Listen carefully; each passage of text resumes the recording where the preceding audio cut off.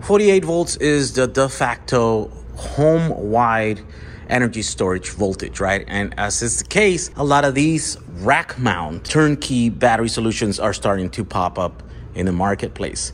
Now, this is one of those uh, most affordable companies that are out there that make this type of batteries. They're called Jakiper, and they sent me this a few months ago. This was like their their Gen One, I guess, 48 volt, uh, 100 amp hour, so about five, uh, 5.1 uh, kilowatt hour battery, 48 volt right battery. But now they have a version two apparently, and then this is so much smaller. This is I think four uh, space rack space, and this is a five rack space. So they've managed to make it even smaller, more compact, but yet still remain uh, the 100 amp hour capacity, which is 5.1 uh, kilowatt hours, right? So let's take these apart at the same time, and then we can see the differences, see how they were able to do that. But before we do that, I guess we can go through the external differences. So apart from the side,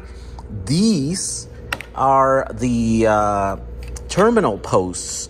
Uh, they have two because uh, in many of these systems you'll be able to stack more, and so you daisy chain uh, many of these batteries together, and so that's why it is very useful to have two of these uh, posts in there. So you have one cable that's coming from another battery, and then another cable that's going to another. If you're if this is you know in the middle of the daisy chain.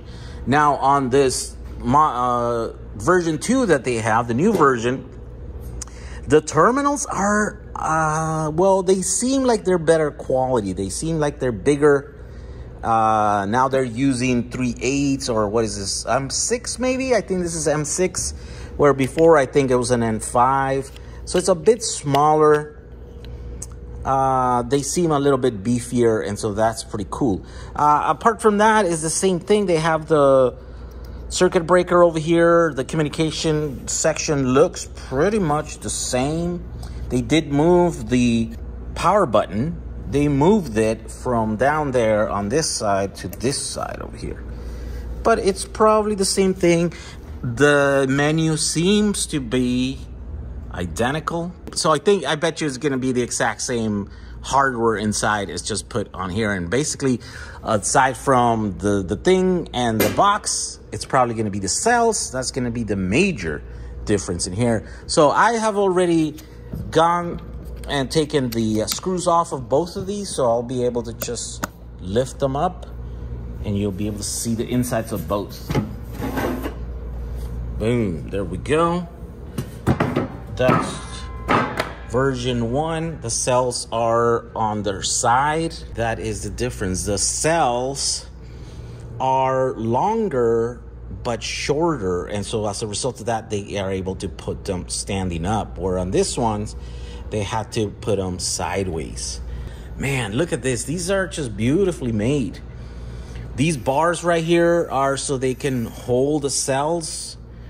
Um, yeah, and they have all these custom bracketry there that is just spot welded on the inside of these packs. So you know they're going to be sturdy, they're going to hold. Uh, they have this foam in here to be able to compress the cells, but just enough, you know, compression, not too not too much so that where you damage them, but just enough so that they don't expand, uh, over expand. They need a bit, just a tiny bit of compression. These don't they have the tendency to to be able to expand a little bit. Uh, but just just like the other one, the uh, they have wire looming that goes on here with little zip ties, and they use some of these brackets also to um, to as raceways for the wire loom. That's pretty cool, and that's pretty neat. Uh, visually, I, I, I, this helps the factories when they're building this. When you're you visually see where all the cables are going. This is uh, pretty cool.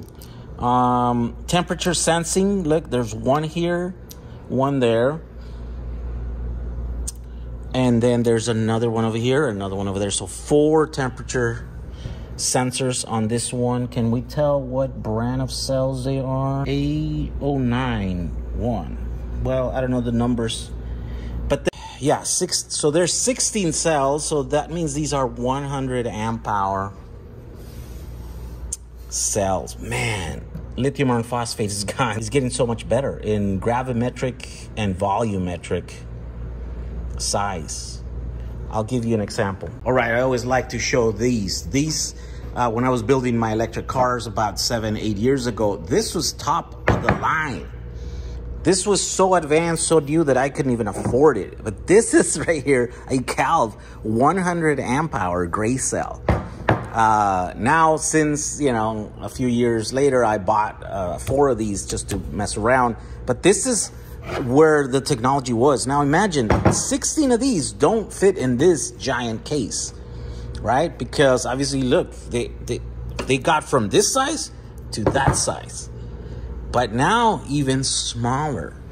And so 16 of these cells will never fit in here. And this is how fast uh, this technology is advancing.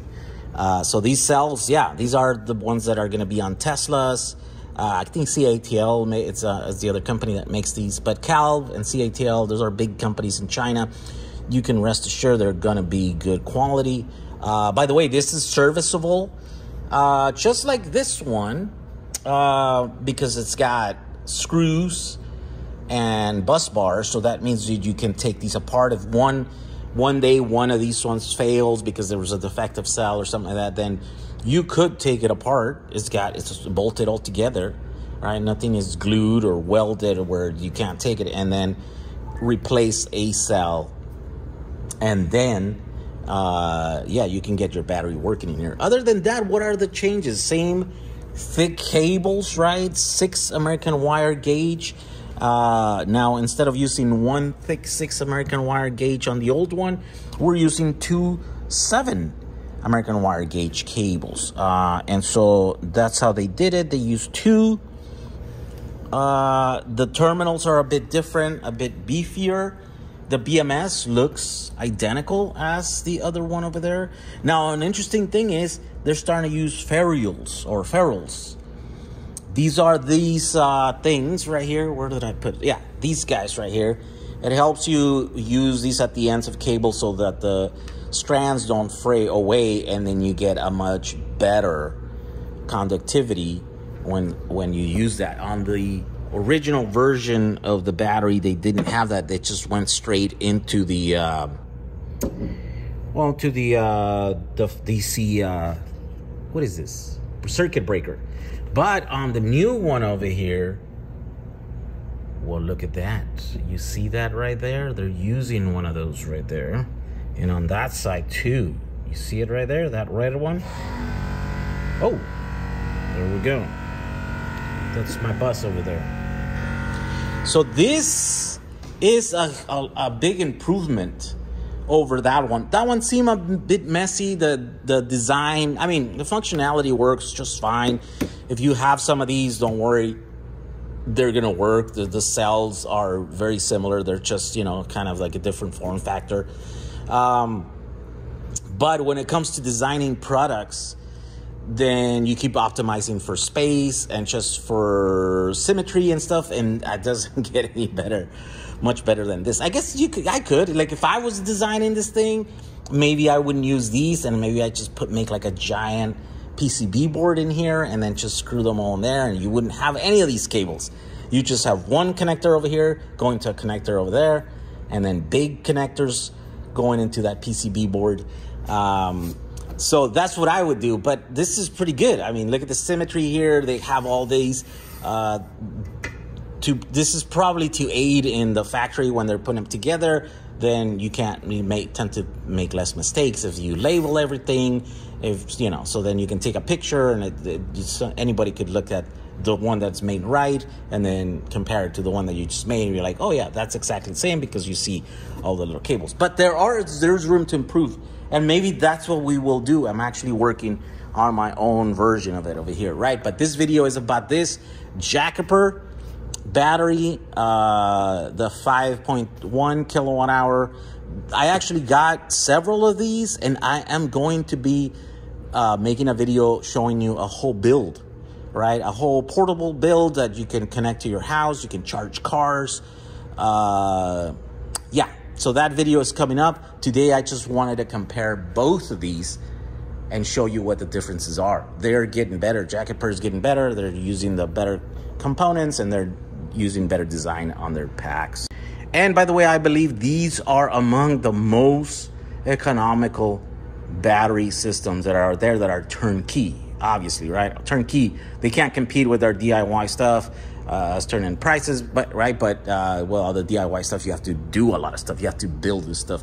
But these, the way they come, I'm going to show you in the video. I think within like four hours you can put uh, one of these systems together. And I'm doing it all by myself, and I'm making mistakes, mistakes and all. I think within four hours you can build a 20 kilowatt hour battery system that you can connect to the inverter and then power your house either off grid or you know uh, grid tie kind of thing uh, we'll show you that in the next video. All right, thank you for watching this video. Thanks for Jakiper for sending these batteries uh, so for me to review and tear them down and stuff.